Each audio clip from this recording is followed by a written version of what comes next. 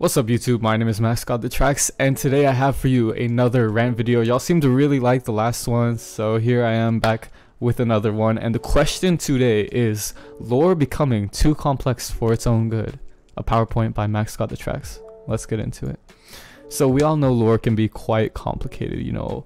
You get these crazy ridiculous spell stacks. I'm sure you had to learn the game at some point if you're watching this. I'm going to assume you're a lore player it probably took you a while to get used to the speed of the spells. There, there's a lot of intricacies to each of the cards. So the question I have today that I was asked by my wonderful, lovely girlfriend, you can see in the corner, she's currently in silver 4, or silver 2, sorry.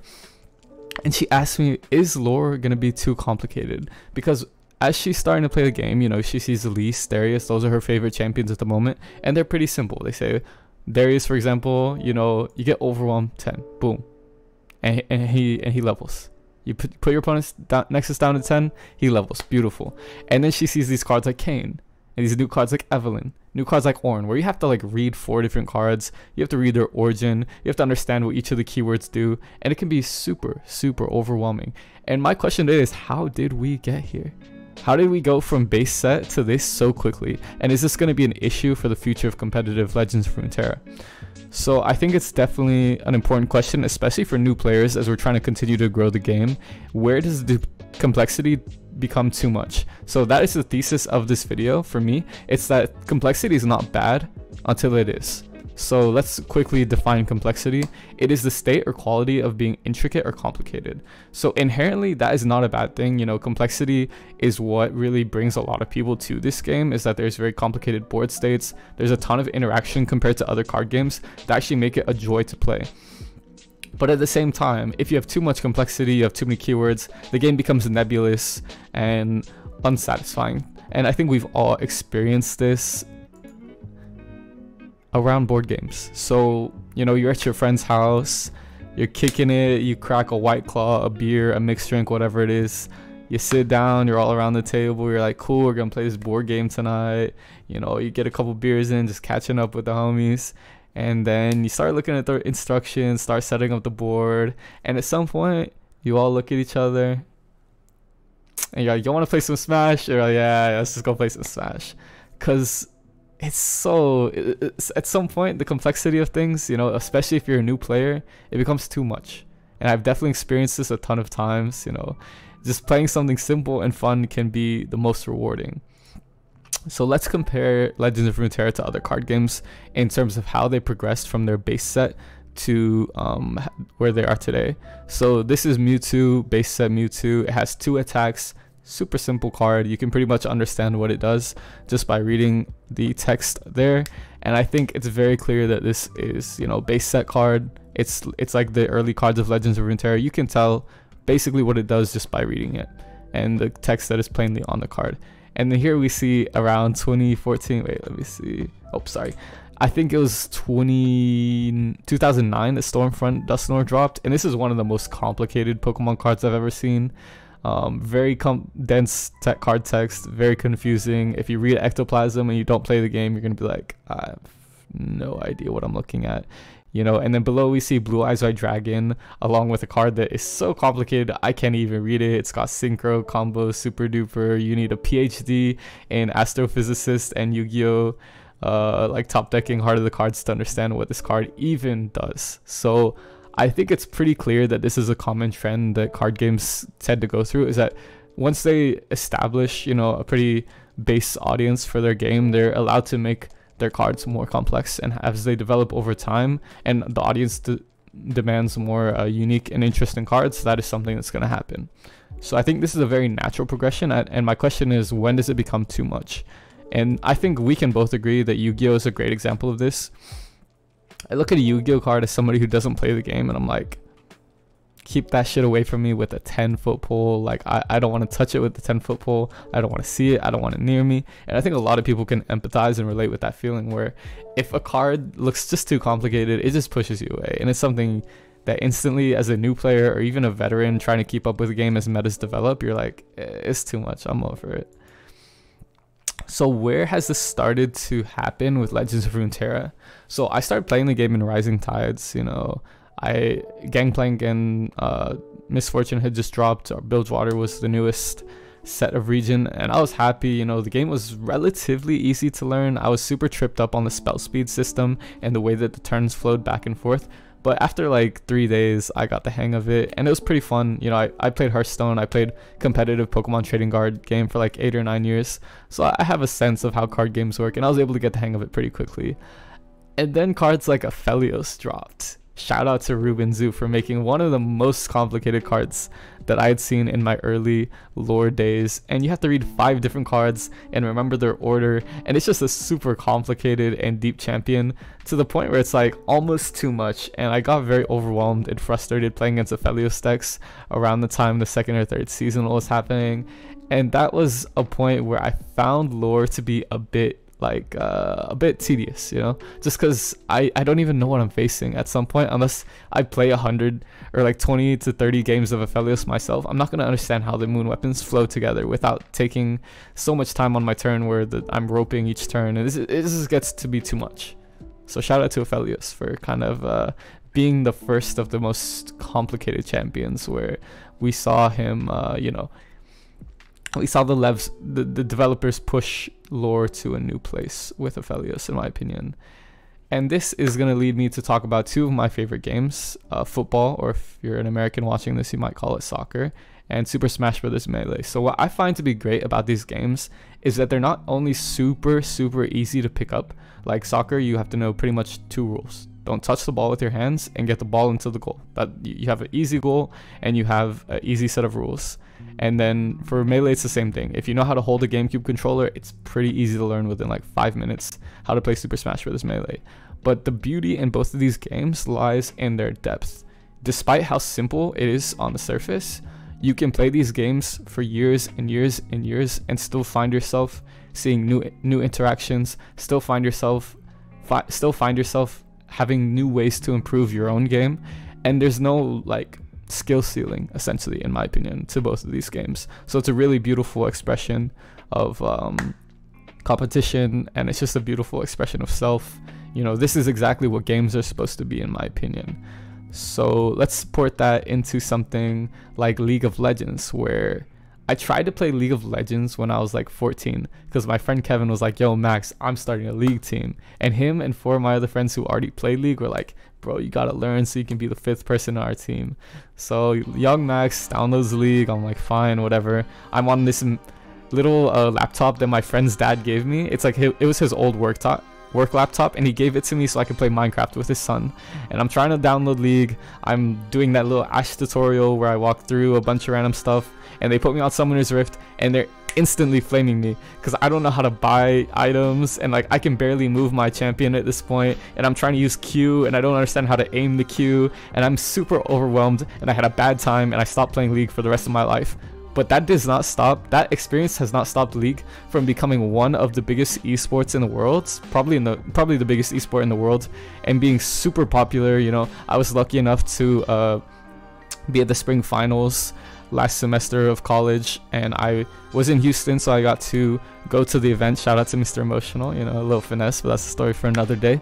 Um, so yeah I saw how cool League of Legends can be and it's like it, it was like the NBA finals you know. I've been to playoff basketball games and the energy in that stadium was honestly crazier than some of those playoff basketball games that I've been lucky enough to go to and League is not by any stretch of the imagination a simple game. Like I was talking about, young middle school Max was overwhelmed and had a horrible time playing League when he was first trying it. And I'm honestly super grateful I never got into that addiction. Like, keep it away from me. Just like Yu Gi Oh! Keep it far, far away from me. I don't want to be that degenerate.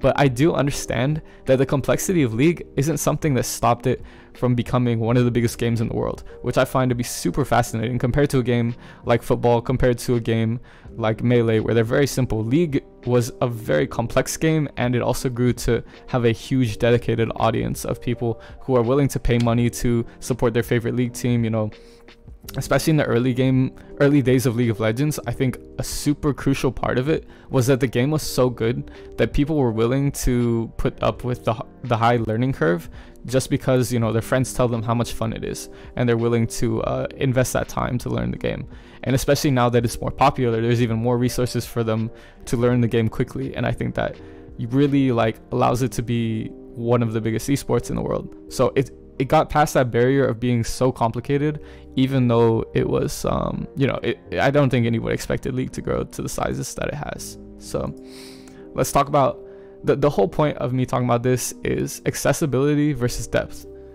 So obviously for a game to become popular, you need a certain level of accessibility. Something like chess where you can learn the rules within 10 minutes, learn what each piece does, and have a game with your friend. Um, you know, I think I learned chess while I was playing against my dad at like six years old on one of those like huge chess sets that you see at like a park or something. And we had a good time. I, I understood it and we were able to play against each other. And yeah, so chess is very simple, but there's also grandmasters who take years and years and dedicate years and years upon years and years of their life to trying to master the game of chess. And it's a beautiful art form once you get to that level because you learn more about who you are as a person. So there's a ton of depth. And I bring up chess because I want to ask you the question why do you play games? And I'll just let that settle for a second. Just think in your head why do you personally play games? For me, I know games are, you know, an outlet to express myself. I have a high drive for competition just based on having like an older sister we were always competing you know i've kind of tried to psychoanalyze myself a little bit and especially playing pokemon at a young age that even boosted up my drive for competition more. Being in a capitalistic society who knows? But the typical card gamer i would say you've, you've heard of like the timmy tommy tammy whatever those three categories are eh, they're nerds. Let's just put it flatly. The typical card game player is a nerd. They're willing to deal with a certain level of complicated of, of complexity because they're they want to play the card game. Like it's not easy on the surface to play any collectible card game. You need a deck of cards you need a person to play with you you need a couple different things and it's a lot more difficult to get than like a chess set for example. And then the rules are usually more complicated. So the typical card gamer already is more willing to um, have that inaccessibility than a lot of other people and this is especially true for Riot Games, where most of their products are for people who are willing to get over that barrier already. So I think where a lot of people see lore's complexity as a weakness, Riot has said once we get these people in, we have them Stockholm syndromed where they hate the game so much because they don't understand it that they're gonna work harder to understand it. If that makes sense. Like you you want to understand and eventually beat your opponent because it takes so much skill and it takes so much complexity. So once you get past that point where you're getting that complexity, it's incredibly satisfying. And that's how most Riot games are able to catch you and hook you because they are more deep than most of their competitors go. Something like Hearthstone, for example, is I would argue is a lot simpler than Runeterra. So I think Riot products, they definitely go for that high complexity and then once we have you you're going to be a dedicated gamer. You're going to be someone who sticks with the product for a long time. And that's something i just noticed. But back to legends of runeterra no more comparisons. Um, when i started the game like i said the last digital card game or card game in general i had played was hearthstone. And i started jamming elise darius and it reminded me immediately gave me that satisfying feeling of slamming the face with hunter uh, face hunter using quick shots and just all those fast units that could attack immediately, and it was super satisfying to play the spiders, level Elise, level Darius, use Decimate to finish them off. It was just a great experience in general. But then I never thought I would branch out and not be somebody who just plays aggro decks. Because even in when I played Pokemon for nine years, I would say the majority of that time I was playing the most aggressive decks I could, whether it was Stormfront Machamp, whether it was Darkrai EX Yveltal, whether it was um, just like weird Infernape Blaziken decks, Lux you name it. I was playing aggressive decks for most of that time. So I definitely saw myself as like a bit of a narrow card game player where I was always trying to jam the most aggressive thing possible to like dominate the game. But fast forward two years and you can see my champion mastery here. I've appreciated the depth. Like you can see Nautilus and Maokai. I go deep. Get it? Into lore. Because I love this game so much and all the different ways you can learn to play it you see, I mean, there's definitely the fair share of aggro decks, whether it's Thresh Nasus or the Draven decks or Lurk, but at the same time, I've able to branch myself out and learn more about myself as I play decks like Control and mid-range stuff like Ezreal Draven and silly decks like Teemo Caitlyn. To where I never thought I would be the one playing those decks. So it's definitely a large learning experience and something that I found super satisfying about becoming addicted to the game is that I see more parts of myself than I did before as I try to learn these new decks. And compared to something like Hearthstone where it was so simple to just play cards on curve and be aggressive and that was simple and satisfying to me. And when I lost the control decks I was like cool control stinks and I hate it whereas when I play lore there's so much interaction and so much depth that I want to just explore so much more and I love that aspect of the game and I think it's a, definitely a large strength so actually we are going to talk about more comparisons. So let's talk about Magic.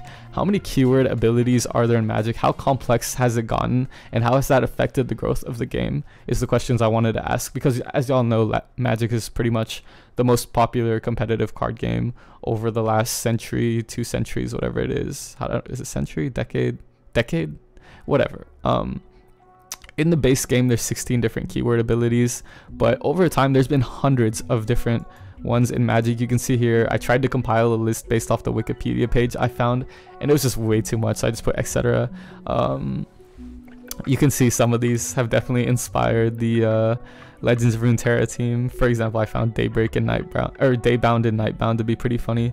But my point being is that all these keywords they've helped to build the Magic player base more than they've hurt the Magic player base by limiting them and like scaring them away from the complexity, especially as Magic has a standard format, which I'll get into later.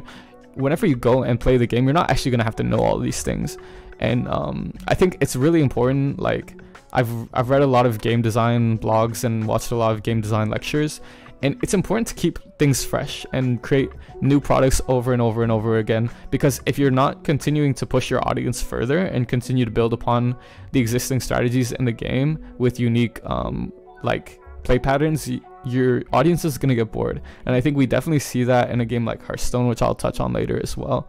But I think it's definitely a strength of Runeterra that they've been aggressive and ready to continue to drop many, many keywords each set. I don't think that's a detriment. Based off like historical evidence and the case study we have with Magic, I think it's very important that you're able to continue to release new products and not limit yourself in that way. Um, so I think lore has, you know, a lot of comparisons here. You can see just in its first year or two, it's released quite a few keywords, different actions, conditions, triggers. Um, and it's quite nebulous. You know, like I said, my girlfriend was in silver. If I wasn't there to help her and explain certain keywords to her, she would be like a lot more frustrated than she is as she plays Runeterra. And it's not like I'm holding a gun up to her head and being like, yo, you have to play the game. No, she's doing it of her own volition and she's having fun.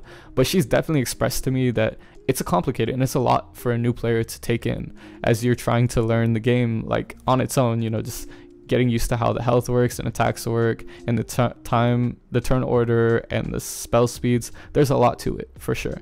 So I think this is definitely something that has the potential to drive new players away. But at the same time, um, you know, it helps that Runeterra is a digital card game because you can just simply click on the cards and understand at least kind of what the keyword may mean. Like if you have a decent level of reading comprehension, you can probably understand like what it, definitely all the base set champions do just by clicking on them and uh, hovering on the keywords.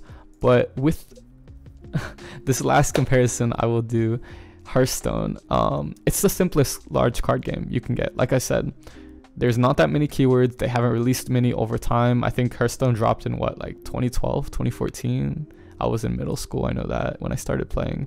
And I think the reason we can see a big dip in the standard um, enjoyment of Hearthstone, uh, the standard format's enjoyment, where most competitive Hearthstone players and streamers are now opting to play the auto chess mode battlegrounds, is because they had such a limited design space that it just became repetitive. And when they start to get new competitors like Magic Arena, Gwent, Runeterra, it just becomes clear that there's more complex ways and more fun and satisfying strategies you can play if you go to another card game in my opinion. So when they limit themselves and try not to release new content and new keywords and new um, ways to play the game, it limits it limits their design space where that causes the stagnation because they only have so many axes where they can do new things. Because you know, with a limited number of champions or her heroes in Hearthstone and a limited like level, a, a limited amount of keywords you can use, there's only so much the designers can do before they have to kind of put their hands up and be like, okay, well, we're gonna start to as we rotate, just recreate the same style of cards. So that I definitely see where the limited design space that uh, Magic has done the opposite of can hurt you. And even though it's more friendly to beginners, it definitely limits the longevity of the game, in my opinion.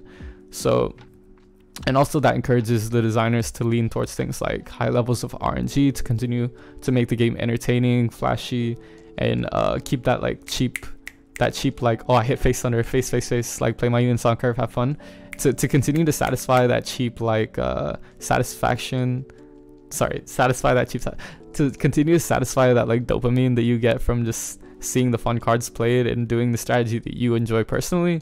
I think it's definitely like it encourages them to do more degenerate things, to continue to up the power level, and to continue to just make more non interactive strategies. I'll put it like that. So, if you're getting overwhelmed, the rotation that Runeterra is happening, that Runeterra is introducing soon, might help you. Getting overwhelmed might. You hate. Don't click off the video. Don't click off the video, please. Please, I have a family to feed. I don't. But imagine I do have a family to feed. Please don't click off the video. I know, I know. It's bad. It's bad. So what I just pulled this random Reddit screenshot. What is rotation and why is it good for the game? One reason rotation might be good for the game is because it's gonna limit the amount of keywords and new strategies that you have to understand to actually get into the metagame and start playing in ranked uh, Runeterra. So like, obviously, if Runeterra continues down this path and they have 100 bajillion keywords, there's things they cannot continue to do and it becomes problematic at some point but at the same time um, you can still use those strat sorry my point being rotation helps keep a limited pool of things that new players and players getting back into the meta have to learn which is very productive and helpful and we've definitely seen that in pokemon trading card game and magic that when you rotate out the degenerate strategies or things that may not be um, what the designers want to work off of and iterate anymore. It helps the game to continue to be fresh and evolve in productive ways to continue to get that play that that that play uh, experience that you want to deliver to your players. So I think rotations definitely might help if you're overwhelmed. All right, I'm stopped. So let's talk about when I was eight years old learning the Pokemon trading card games. So you know, I was like very young. I had decent reading comprehension. I was pretty decent at math for an eight year old my age. But I would see and go to these tournaments, right? You know, like I, I went to a regional championship, and even at that young age, like playing like like these cards are just like bricks of text, right? This card was out in 2006. This was one of my favorite cards. Um, Unown G, like they're they're pretty complicated cards, is what you can tell. But even at that age, I was motivated by my love for the game. Like I said, card gamers are kind of nerds. I was motivated by my love of the game to try to understand these cards and not be scared away by the complexity, but to actually embrace them and love and enjoy using these strategies for myself. So I could definitely see where like you may read these cards and be intimidated and be like, uh, this looks like a lot, it's overwhelming. But for me, I love the game so much that I was willing to put up with a certain level of complexity because it was fun and it introduced new strategies to the game in a really interesting way where the dynamic between me and my opponent shifted. So I definitely, even as a young eight year old, somebody who, you know, it, I could have very easily been like, bro, I'm gonna go play like a shooting game or do something more fun that gives me like that immediate, you know, satisfaction. I definitely took the time to learn and understand the card game and read all these complicated cards because it gave me a deeper sense of satisfaction where I was like, I can now use these to my advantage and understand what my opponent's doing and understand where I can counter them, etc., etc. So I want to talk about that in terms of lore. So, you know, when I started the game, I hated, hated with a fucking passion playing against Puffcaps. I hated them. I really did. They were one of my least favorite archetypes to play against. I would lose to them all the time because I didn't understand how Puffcaps worked.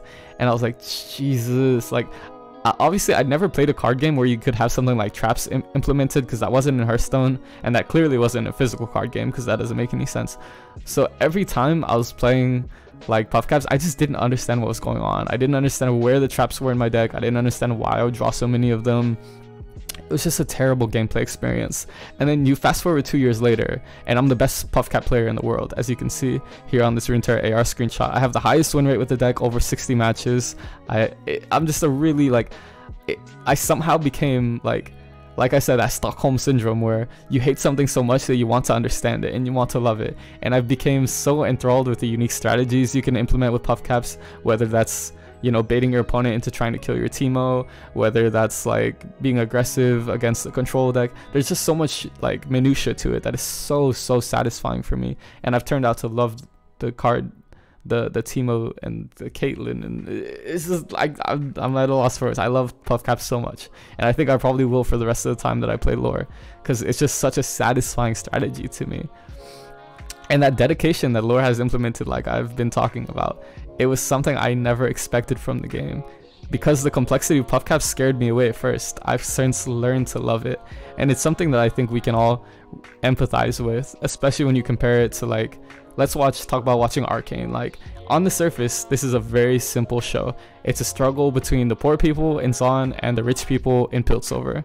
But when you get into it and you consider all the socio-economic, all the political relationships, all the um, romantic relationships between the characters, suddenly there's such a deep and rich, lovely story that you get to enjoy because you're willing to enjoy and watch that complexity instead of something, you know, obviously like something like reality TV, you don't get those dynamics. Like that's why I think Arcane is getting so celebrated and has become such like a, beautiful thing because on the surface it looks like a really simple story but once you get into it it's so rich and complex and it's something that we can all empathize with whether that's like the struggle between the sisters or like the political machines wherever you may sit in those situations like it's such a beautiful story for that reason. And i think riot recognizes that once you get people into your game or into your story or into like your stadium whatever it may be these dedicated audiences are things you want to capture because when you add that depth, it's just something that's going to keep these players around, keep, keep these viewers around. I think we're all waiting in bated breath for Arcane season two. If you haven't watched Arcane, go fucking watch it. Come on, it's it's it's an amazing show. But enough Riot fanboying. My point is that these dedicated audiences that are brought to the table by the complexity and this the simplicity, but also the complexity are very valuable. So I don't want to say that it's bad. But yeah, that's pretty much that's pretty much what I have to say. Um, yeah, I think I think that's the end of my rant. I think simplicity, like obviously, I would prefer Riot tone it down just a little bit because I think there's still a lot of growth, growth, and I prefer the elegance. Like we can go back a bunch of slides.